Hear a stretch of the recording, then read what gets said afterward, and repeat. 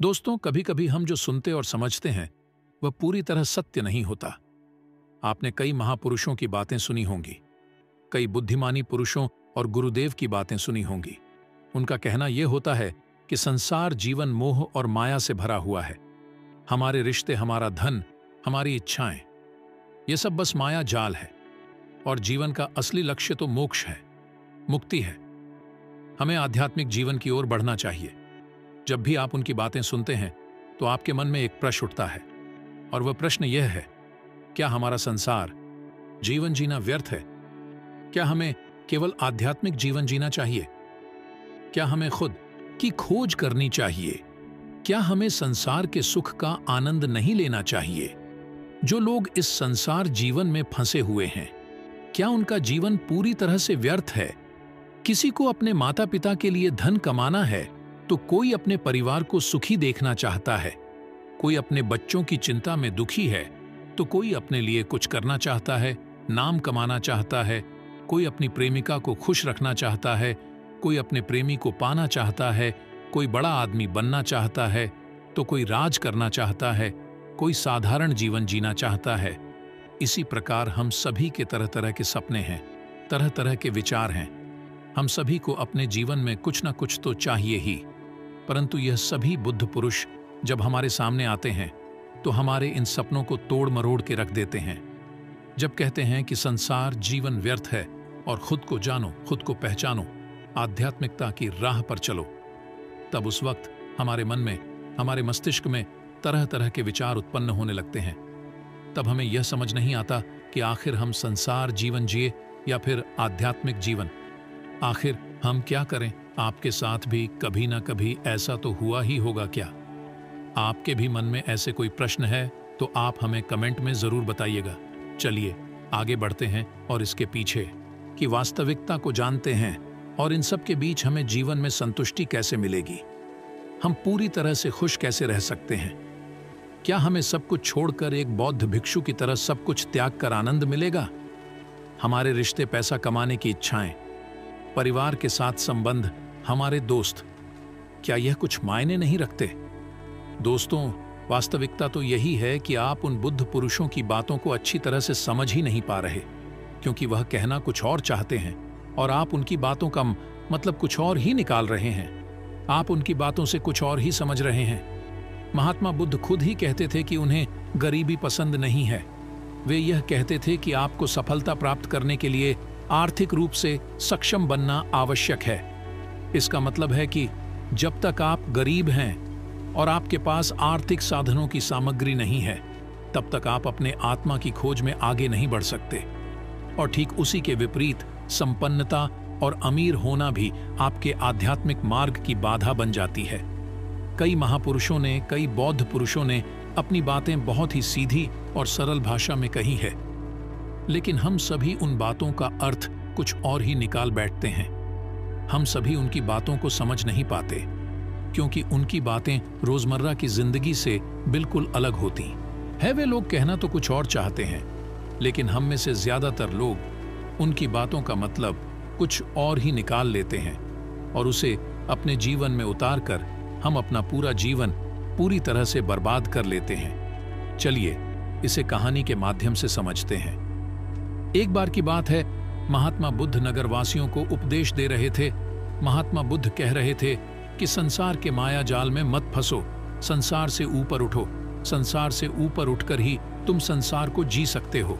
संसार में जो फंस गया, जिसने अपनी बुद्धि का इस्तेमाल नहीं किया, वह व्यक्ति जो समय पर अच्छे कर्म नहीं करता और बुरे कामों में जुट जाता है, वह आने वाले समय में बड़े दुखों का सामना कर सकता है, क्योंकि उसके बुरे कर्म ही उसके दुखों का कारण बनेंगे।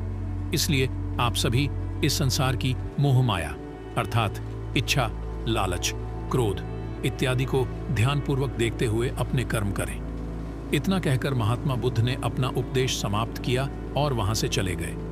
महात्मा बुद्ध जब यह उपदेश दे रहे थे तो वहाँ पर उस नगर का सबसे धनी व्यक्ति वहीं पर मौजूद था और उस व्यक्ति पर महात्मा बुद्ध की बातों का बहुत गहरा असर पड़ा। उसका मन अब संसारी जीवन में नहीं लगता था। वह संसारी जीव वन से हटने लगा था। अब उसे अपना सब कुछ किया हुआ, व्यर्थ नज़र आने लगा था। देखते ही देखते कुछ ही सालों में उसका सारा व्यापार चौपट होने लगा था। उस धनी व्यापारी के परिवार के सभी सदस्य उसे इस तरह से देखकर बहुत चिंतित रहने लगे थे। और जब भी कोई उससे बात करने की कोशिश करता था तो वह धनी व्यापारी एक ही बात कहता, यह धन दौलत तो सब बेकार की चीज़ें हैं, ये सब तो मोह माया है, सब बेकार है। भला हम रिश्ते निभाकर क्या करेंगे? यह सब तो वासना है। जीवन तो केवल एक ही है और वह है मुक्ति। अब तो केवल उसी की आस है, उसी की प्यास है। मैं इतना समझ चुका हूँ कि अब से जो भी होगा, वह सब अच्छा होगा। अब से उसने व्यापार पर भी ध्यान देना बिल्कुल बंद कर दिया था और देखते ही देखते वह धनी व्यापारी उस नगर का सबसे गरीब व्यक्ति बन चुका था। वह पूरी तरह से निर्धन हो चुका था। उसका सब कुछ बर्बाद हो चुका था और उसका पूरा परिवार सड़क पर आ गया था। एक दिन जब उसके घर में खाने के लिए कुछ नहीं बचा तो उसने अपने आप से कहा यह मैंने क्या कर दिया? सब कुछ तो बहुत अच्छा चल रहा था, लेकिन मैंने अपने हाथों ही सब कुछ बर्बाद कर दिया। आज मेरे परिवार का हर एक सदस्य भूखा है। उनके पास खाने के लिए कुछ नहीं और मैं उनके लिए कुछ नहीं कर पा रहा। वह यह सब सोच ही रहा था कि तभी उसे याद आया कि उसने महात्मा बुद्ध की बातों में आकर अपना जीवन बर्बाद कर लिया। न तो उसे मुक्ति मिली और न ही धन। वह सोच रहा, मैं तो कहीं का नहीं रहा। थोड़े थोड़े भोजन के लिए भी आज मुझे रोज मरना पड़ता है। हर रोज मुझे मेहनत करनी पड़ती है। तब जाकर मेरे परिवार को दो वक्त की रोटी मिल पाती है। अपने परिवार की इस तरह से बुरी हालत देखकर उससे रहा नहीं गया। वह बहुत चिंतित रहने लगा था। वह बहुत परेशान हो चुका था। एक दिन वह अपने घर से भाग गया। रास्ते में जब वह आगे बढ़ रहा था, तब उसके मन में ख्याल आया कि वह कहाँ जाएगा, किससे मदद मांगेगा, आखिर अब उसका साथ कौन देगा। तभी उसे याद आया कि उसे महात्मा बुद्ध के पास ही जाना चाहिए, क्योंकि बुद्ध के कारण ही आज उसकी यह हालत है। उसके हालात के जिम्मेदार तो वही है। मैं तो सीधा सीधा अपने मार्ग पर जा रहा था। लगातार अपने व्यापार में उन्नति कर रहा था, लेकिन जब से मैंने उनकी बातें सुनी, तब से मेरा मन विचलित हो गया। मुझे समझ नहीं आया कि मैं जो जीवन जी रहा हूँ, क्या वह सत्य है, या फिर जो वह जीवन जी रहे, वह सत्य है, उनकी चिकनी चुपड़ी बातों में आकर मैंने अपना सब कुछ बर्बाद कर कर दिया। मेरे हालात के जिम्मेदार तो वही हैं, इसलिए मुझे उनके पास ही जाना चाहिए। अपने मन में क्रोध लिए दो दिनों की। लंबी यात्रा करके महात्मा बुद्ध के पास पहुँचा, और क्रोध में आकर महात्मा बुद्ध से कहता है, हे बुद्ध, आपको कोई ज्ञान नहीं, ना ही आपने सत्य की प्राप्ति की है। आप तो केवल भोले भाले लोगों को फंसाना जानते हैं। अपनी चिकनी चुपड़ी बातों में उन्हें बहलाना जानते हैं। आप लोगों के सीधे पर का फ़ायदा उठाकर अपनी प्रसिद्ध थी और अपनी प्रशंसा करवाते हैं। आप हमें ऐसे सपने दिखाते हैं जो कभी पूरे नहीं हो सकते। मैं भी ऐसा ही एक सीधा साधा व्यक्ति था और मैं उस नगर का सबसे बड़ा धनी व्यक्ति था। आपसे मिलने से पहले सब कुछ ठीक चल रहा था। मेरे पास धन की कोई कमी नहीं थी। सारे ऐशो आराम थे, सारी सुख सुविधाएँ थी। लेकिन जब से मैंने आपका उपदेश सुना मैं आपसे इतना प्रभावित हो गया कि मैंने आपकी बातों को ही मानना शुरू कर दिया। और वह सारी चीज़ें छोड़ दी, जो मुझे संसारी जीवन से जोड़ती थी। अर्थात, संसार की सारी मोह माया मैंने त्याग दी। और आज देखिए, आपकी वजह से मेरा पूरा परिवार भिखारी बन चुका है। वह छोटी सी कुटिया में रहता है। यहाँ तक कि रोज के खाने के लिए भी हमें तिल तिल मरना पड़ता है। आपकी वजह से मैं पूरी तरह से बर्बाद हो चुका हूँ। उस व्यक्ति के इतना कहने के बाद महात्मा बुद्ध शांति से मुस्कुराते हुए, उस व्यक्ति से कहते हैं, आखिर तुम्हारे साथ क्या हुआ है? और तुमने मेरी बातों का क्या मतलब निकाला इस पर? वह व्यक्ति महात्मा बुद्ध को सारी बातें बता देता है। है, आप कहते हैं कि धन दौलत की इच्छा करना, यह कामना, यह वासना से बुरी है। आप सांसारिक जीवन को बुरा कहते हैं और खुद इस संसार में आकर भिक्षा मांगते हैं।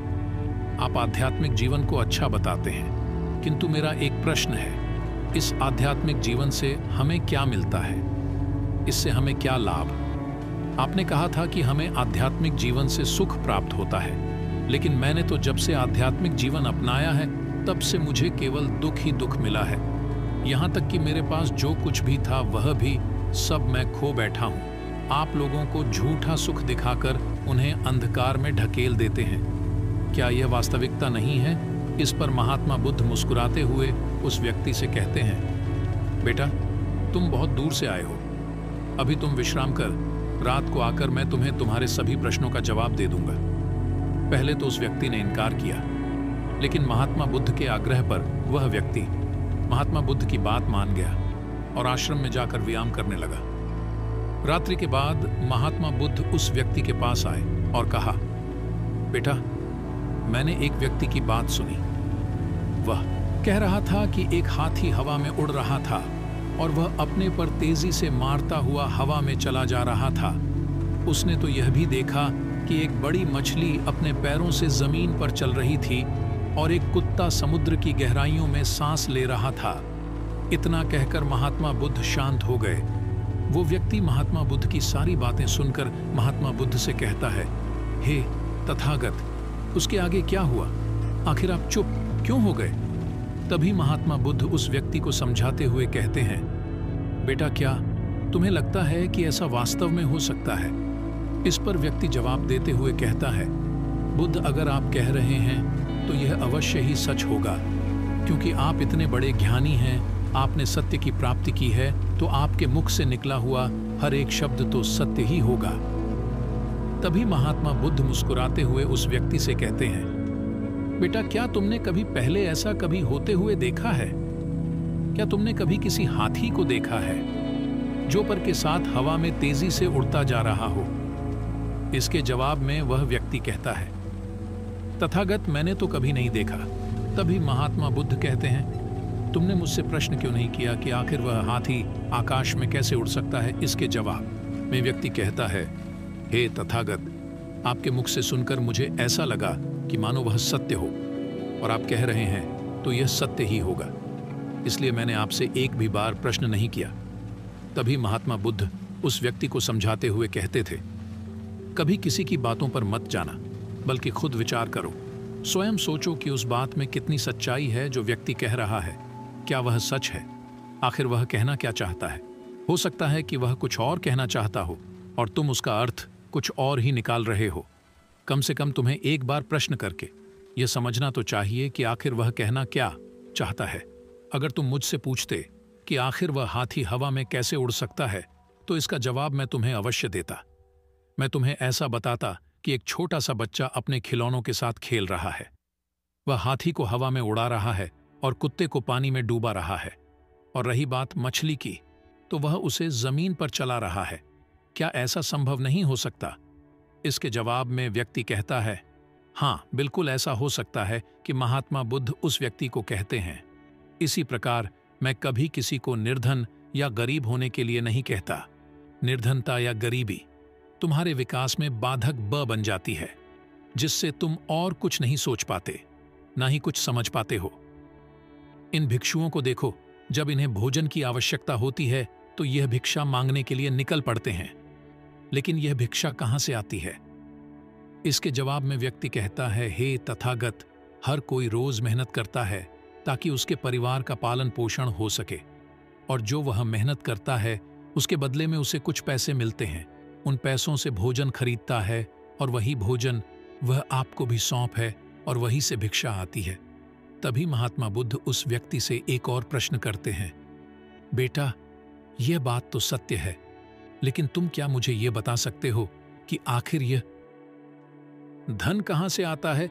इसका जवाब देते हुए व्यक्ति कहता है, हे तथागत, धन तो सभी लोग अर्जित करते हैं, सभी कमाते हैं। तभी महात्मा बुद्ध इस व्यक्ति को समझाते हुए कहते हैं, ठीक इसी प्रकार दुनिया में यदि हर कोई भिक्षा मांगने लग जाए तो आखिर भोजन कहाँ से आएगा? अनाज कौन उगाए? व्यापार कौन करेगा? और लोगों की रक्षा के लिए धन कहाँ से इकट्ठा होगा? लोगों की जरूरतें कैसे पूरी होंगी? यह सुनकर व्यक्ति थोड़ा सा अचरज में पड़ गया और महात्मा बुद्ध से कहता है, किंतु हे तथागत, आप ही तो कहते हैं कि मनुष्य की इच्छा, कामना और वासना, लालच और क्रोध, यह सभी मनुष्य के विकार है और हमें इनसे दूर रहना चाहिए। तभी वह आत्मज्ञानी कहलाता है। तभी महात्मा बुद्ध कहते हैं, बेटा, मैं तो अभी भी यही कह रहा हूँ कि मनुष्य को इन सब चीज़ों से दूर रहना चाहिए। इस पर व्यक्ति महात्मा बुद्ध की बात काटते हुए कहता है, हे तथागत, पर दुनिया तो इसी पर चल रही है। इसके बिना भला यह संसार कैसे चल सकता है? हर किसी को पैसों की ज़रूरत है, बिना पैसों के वह अपने परिवार को नहीं चला सकता। वह अपने परिवार का पालन पोषण नहीं कर सकता। वह अपने परिवार के लिए भोजन नहीं ला सकता, और यदि वह पैसे नहीं कमाए तो वह भूखा मर जाएगा। तभी महात्मा बुद्ध कहते हैं, बेटा यह संसार इन चीज़ों से नहीं चल रहा, इन चीज़ों से बिगड़ रहा है। इस पर व्यक्ति कहता है, हे तथागत, आखिर आप क्या कहना चाहते हैं? मैं आपकी बात समझ नहीं पा रहा। संसार में इच्छा, कामना, वासना और क्रोध ही तो है। और जब हम इनका त्याग कर देते हैं, तब हम आध्यात्म के मार्ग की ओर आगे बढ़ते हैं। अर्थात मुक्ति के मार्ग पर, यानी कि हम सन्यासी के मार्ग पर चलते हैं। इस पर महात्मा बुद्ध जवाब देते हुए कहते हैं, बेटा तुमने जो कुछ कहा, वह भी एक बहुत बड़ा सत्य है।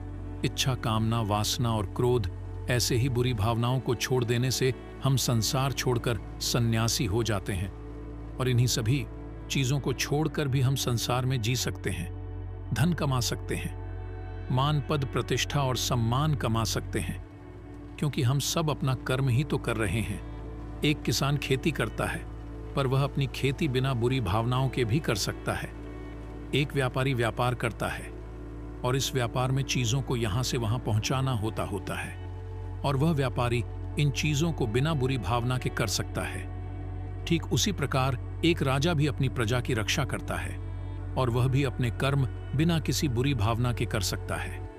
और एक भिक्षु इन सभी लोगों को सही प्रकार और सही कार्य करने के लिए मार्गदर्शन करते हैं, जो उस भिक्षु का कर्म है, जो उसका कार्य है और जो व्यक्ति जागृत होकर अपने कर्मों का सही पालन करता है।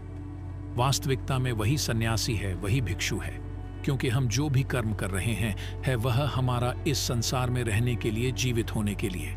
जीवन जीने के लिए केवल एक माध्यम मात्र ही है, उसे छोड़कर हम कुछ भी नहीं पा सकते। और हमारे सभी कर्म करते हुए हमारा मुख्य उद्देश्य जागृत होना है, खुद को पहचानना है, खुद को जानना है। एक बार यदि हमारे भीतर ज्ञान का उदय हो गया, तब हम चाहे जो भी करें, वह फिर संसारी हो या सन्यासी, सब एक ही होते हैं। इस पर व्यक्ति, महात्मा बुद्ध से कहता है, हे बुद्ध, किंतु मैंने तो देखा है कि आप अपने संघ में उन लोगों को भी शामिल कर लेते हैं, जो लोग अपने परिवार को छोड़कर आए, अपने माता पिता को छोड़कर आए हैं, अपने बीवी बच्चों को छोड़कर आए हैं। क्या आप उनसे कभी यह कहते हैं कि जाकर अपनी जिम्मेदारियाँ पूरी करो। जाओ, अपनी जिम्मेदारियाँ संभालो और धन कमाओ, और वहीं पर रहकर तुम आत्मज्ञान प्राप्त करो। उस व्यक्ति के प्रश्न का जवाब देते हुए महात्मा बुद्ध कहते हैं, भक्ति, क्या तुम शांति को हवा में उड़ा सकते हो? इसके जवाब में वह व्यक्ति कहता है, नहीं, मैं नहीं उड़ा सकता। तभी महात्मा बुद्ध कहते हैं, केवल एक बच्चा ही हाथी को हवा में उड़ा सकता है। ठीक उसी प्रकार जिस व्यक्ति को जो बनना है, वह तो वह बनकर ही रहेगा। जैसे किसी व्यक्ति को राजा बनना है तो वह राजा बनेगा। किसी व्यक्ति को व्यापारी बनना है तो वह व्यापारी बनेगा। ठीक इसी प्रकार, यदि किसी व्यक्ति को आत्मज्ञान की प्राप्ति करनी है तो उसे सब कुछ तो त्यागना ही होगा। आगे महात्मा बुद्ध उस व्यक्ति से कहते हैं, बेटा, क्या तुम सब कुछ छोड़कर आत्मज्ञान के मार्ग पर आगे बढ़ते, या फिर तुम यह सोच रहे थे कि इस रास्ते पर चलकर जीवन आसान हो जाएगा। जो होगा, सब अच्छा होगा, सब कुछ अपने आप ही मिलने लगेगा। मुझे तो कुछ करने की आवश्यकता ही नहीं पड़ेगी।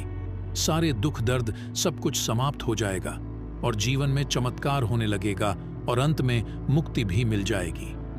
महात्मा बुद्ध की यह बात सुनकर उस व्यक्ति को अपनी गलती का एहसास हो गया। पदोन्नति महात्मा बुद्ध के चरणों में गिर पड़ा और कहने लगा हे तथागत, आप सत्य कहते हैं।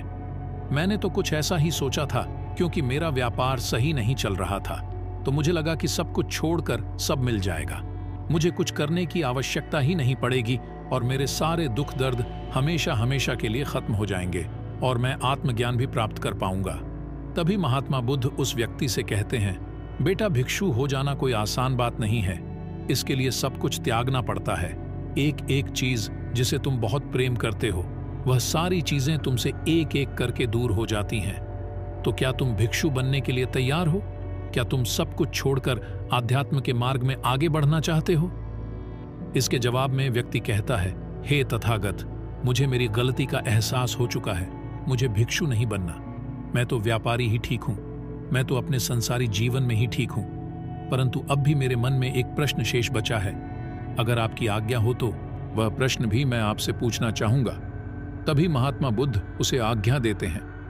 इस पर व्यक्ति कहता है, हे तथागत, आप ही तो कहते हैं कि धन नहीं कमाना चाहिए। पद प्रतिष्ठा, अहंकार हमें दुख की ओर ले जाते हैं। और संसार में यही तो है। और क्या है? यदि हमें संसारी जीवन जीना है तो हमें यह सब तो करना ही पड़ेगा। तभी महात्मा बुद्ध मुस्कुराते हुए उस व्यक्ति से कहते हैं क्या तुम्हें भूख लगी है? इस पर व्यक्ति कहता है, हाँ, तथागत मुझे बहुत भूख लगी है। तभी महात्मा बुद्ध उस व्यक्ति को भोजन करवाते हैं। उसे भरपेट भोजन खिलाने के बाद महात्मा बुद्ध उस व्यक्ति से कहते हैं, लो और खाओ। यह सब तुम्हारे लिए ही है। इसके जवाब में वह व्यक्ति कहता है, तथागत, मैं पहले ही बहुत ज़्यादा खा चुका हूँ। अब मुझसे और नहीं खाया जाएगा। मेरे पेट में अब थोड़ी भी जगह नहीं रह गई है। यदि मैंने और अधिक खाया तो मेरा पेट दर्द करने लग जाएगा और फिर मुझे तरह तरह की परेशानियाँ होने लगेंगी।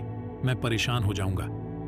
तभी महात्मा बुद्ध मुस्कुराते हुए उस व्यक्ति से कहते हैं, बेटा, मैं भी तो तुम्हें यही समझाने का प्रयास कर रहा हूँ कि जितनी ज़रूरत है, उतना ही खाओ, उतना ही धन कमा, जितने की तुम्हें आवश्यकता है। क्योंकि हर चीज़ जब हद से ज़्यादा हो जाती है तो वह नुकसान ज़रूर पहुंचाती है। फिर वह चाहे धन हो, चाहे इच्छा चाहे लालच या फिर कामना या वासना, सब कुछ हद से ज़्यादा आप पर ले चले, जो सांसारिक जीवन से हटकर नए जीवन में प्रवेश करवाए। क्योंकि वे लोग बुराइयों से लड़ने में तुम्हारी मदद करेंगे, तुम्हें ताकत मिलेगी और तुम लगातार बिना विचलित, मैं अपना कर्म पूरी ईमानदारी के साथ करूँगा। आपके दिए हुए मार्ग पर मैं पूरी ईमानदारी से चलूँगा। मैं आपको वचन देता हूँ कि मैं एक अच्छा व्यापारी और एक अच्छा इंसान बनकर रहूँगा।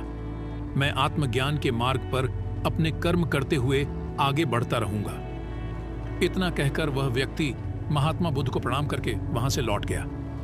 दोस्तों, हमारे साथ भी कुछ ऐसा ही होता है। जब हम किसी सिद्ध पुरुष की बातें सुनते हैं तो हमें लगता है कि संसारी जीवन व्यर्थ है और हमने ने जो कुछ भी आज तक कमाया है, जो कुछ भी आज तक कर्म किए हैं, वह सब व्यर्थ है। दुनियादारी की सारी बातें बेकार हैं हमें। तो आत्मज्ञान के मार्ग पर बढ़ना चाहिए। वही सही राह है। लेकिन हम कभी अपने भीतर नहीं देख पाते कि हमें आत्मज्ञान की कोई ज़रूरत नहीं है, क्योंकि आज हमारा वक्त बुरा चल रहा है और हमें कोई रास्ता नज़र नहीं आ रहा। तब हमें आत्मज्ञान नज़र आ रहा है। और जब कल हमारा वक्त अच्छा होगा, हमारे जीवन में सुख होगा तो आत्मज्ञान कहाँ पर होगा? यह हमें झांत नहीं। इसीलिए जो आत्मज्ञान के मार्ग पर चलते हैं, उन्हें सुख और दुख से कोई फ़र्क नहीं पड़ता। उन्हें अपने व्यवसाय से भी फ़र्क नहीं पड़ता, उन्हें जीवन की झंझट से भी फ़र्क नहीं पड़ता। वह तो बस आत्मज्ञान के इस मार्ग पर खुशी खुशी चलते रहते हैं और अपनी मंजिल तक पहुँच ही जाते हैं। दोस्तों, आज के इस वीडियो से आपने क्या सीखा, वह मुझे आप कमेंट में ज़रूर बताइए। इसी के साथ में उम्मीद है कि आपको आज की वीडियो भी ज़रूर पसंद आई होगी। इस वीडियो को लाइक और अपने दोस्तों के साथ शेयर ज़रूर कीजिएगा और साथ ही चैनल को सब्सक्राइब और घंटी बटन को भी दबा दीजिएगा। चलिए, फिर मिलते हैं। एक और वीडियो में तब तक के लिए अपना ख्याल रखें। धन्यवाद, नमो बुद्धाय।